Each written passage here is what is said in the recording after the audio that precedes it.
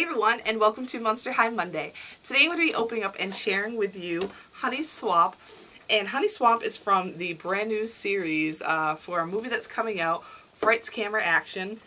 And she is the daughter of the Swamp Monster. I have been wanting her just because of her hair. Her hair is pretty awesome, right? I picked her up at Target for only $19.99 and um, they're just starting to show up in the stores. Um, when I went, there's a ton of them. There wasn't just one or two on the shelf or anything else. There's a ton of them on the shelf. So they're just starting to show up in the stores. Um, the other place you can get them as Toys R Us are about $21.99 and Justice. They have them there for $36, but the best time to go is when they have a 50% off sale and you only pay like $18 for them.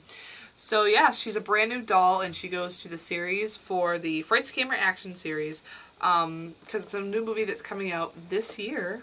Oh, I'm excited to see it. I really am. Um, she is the last doll that I have purchased so far for this series here. I'm hoping to find more of them. Um, I have all the main dolls. Maybe the singles or something. But, anyways, enough of me just jibber jabbering. This is what Honey Swamp looks like in the package. Very, very pretty. Gosh, I love the colors. and this is the back of the package.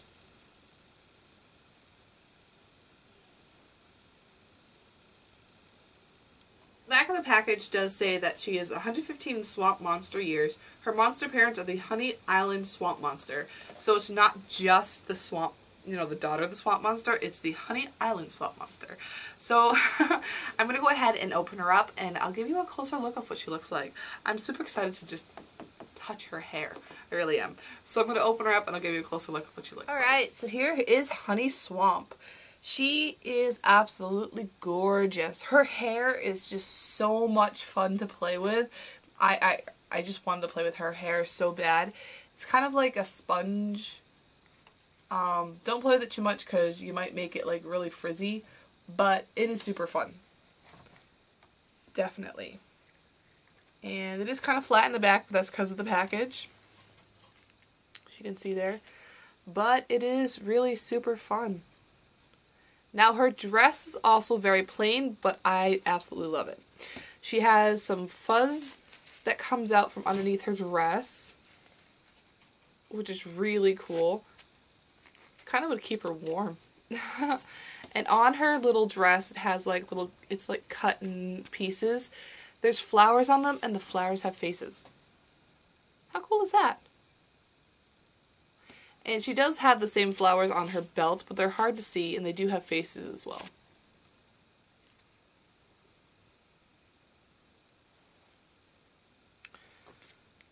She has on just one little bracelet and her whole body has these little designs all through them. Even underneath here, like on her belly, there's designs going all the way up. It's really neat. And her shoes, her shoes are little crocodiles.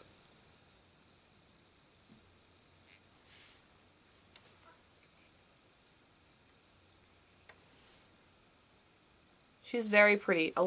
Like, so pretty when you take her out of the package. Also, she comes with her little journal. This is Honey Swamp on it. A The stand that she is on does come with her. The Black Monster High brush. A little recording camera.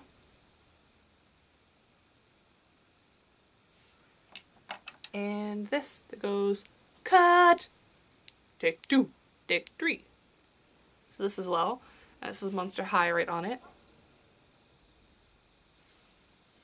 So she's a great addition to the Monster High dolls. I think she fits in perfectly well. She's very gorgeous. Her hair, like I said, is probably like the best feature of her. Her dress is very different than anything I've seen and she has all those designs on her. I mean, they put designs on her legs instead of painting them on, um, which I really love because, you know, most cases they just you know, paint on designs on the legs or just like um, Venus McFlytrap, they just have vines growing up her and they fall off.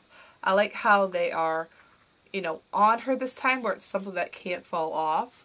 So it's really cool. but she's very pretty, and I just want to mention her eyes are kind of um, reptilian as well. They're really kind of freaky. But I want to thank you all for watching. Make sure you comment, rate, and subscribe. That's if you want to. And as well as check out my Instagram, my Facebook page, and my Twitter. I do update that, uh, you know, pretty much every day. And if you would like to send me any fan mail, send it to the Crazy Pony Lady, P.O. Box 9, Spencer, Mass. 01562, and that's in the USA. So, yeah, look forward to more Monster High Mondays in the future. Bye, everyone. Bye. Cut!